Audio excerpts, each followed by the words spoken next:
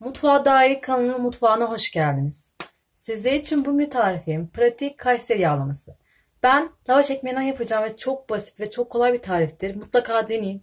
Hamur açmanıza gerek yok. 10 dakikada hazır. Şimdi tarifin yapılışına geçiyorum. Tavamı ocağın üzerine aldım. Isınmasını bekliyorum. İlk olarak kıymamı ilave edeceğim ve güzelce kavuracağım.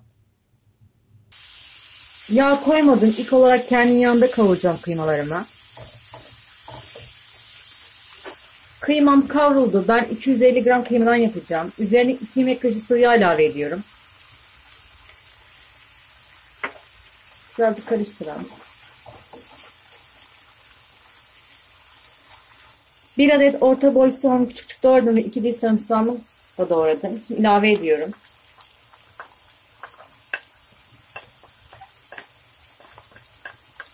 Kavurmaya devam edelim. Soğanlarım kavruldu. Bir adet kapya biber ve iki adet yeşil ilave ediyorum. Karıştırmaya devam ediyorum.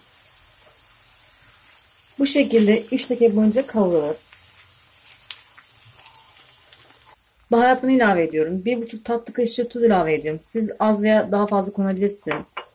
Yarım çay kaşığı kimyon ve 1 çay kaşığı karabiber. Güzelce karıştıralım 2 dakika. Ardından 1 yemek kaşığı domates salçası, 1 yemek kaşığı biber salçası ilave ediyorum. Güzelce karıştıralım.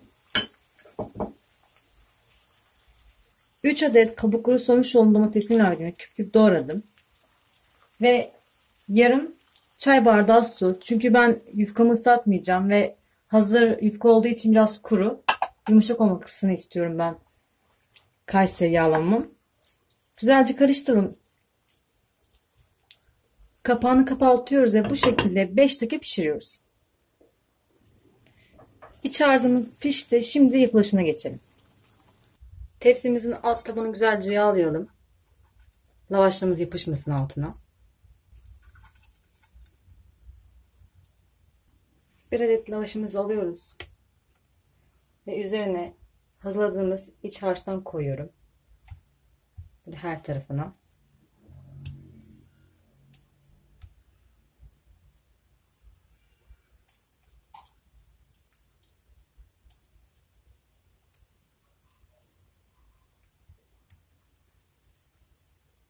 İç harcımı koydum. Bu kenarlara koymanıza gerek yok. Çünkü taşabilir.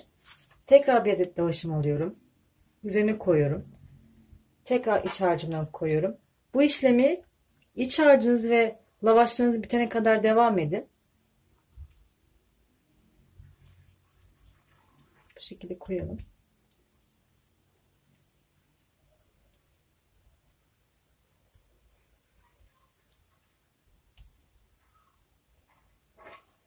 Güzelce çok e, bir yer toplanmasın.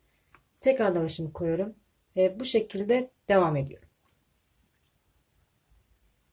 Kayseri yağlamamızı tamamladık. Ben toplamda 7 adet lavaş kullandım. Şimdi Kayseri yağlamamızı önce ısıtmış olduğumuz 200 fırında 10 dakika pişiriyoruz. Kayseri yağlamamız fırından çıktı. Şimdi pizza dilimi şeklinde dilimleyelim. Bu şekilde.